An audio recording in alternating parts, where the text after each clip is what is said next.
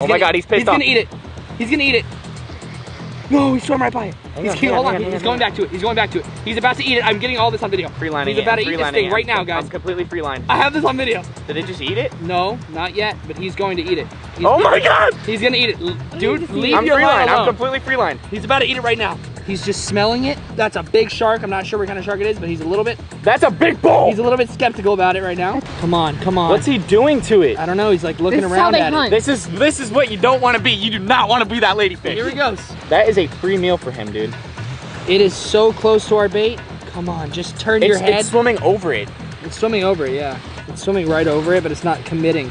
Crazy. This is so cool to see in real life nature right now. We're seeing this shark hunt, and Is it near is my bait still? insane. Okay, wait. I want to see. I Did can't. it just eat it? Oh yeah, it just ate it. It just ate it. It just ate it. It just ate it. It just ate it, guys. Yep.